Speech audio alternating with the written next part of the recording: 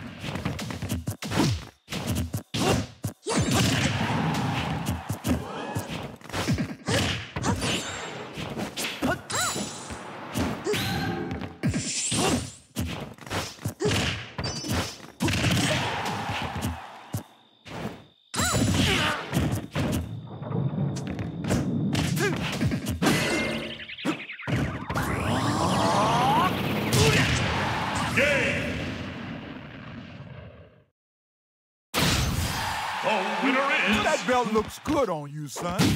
Little Mac.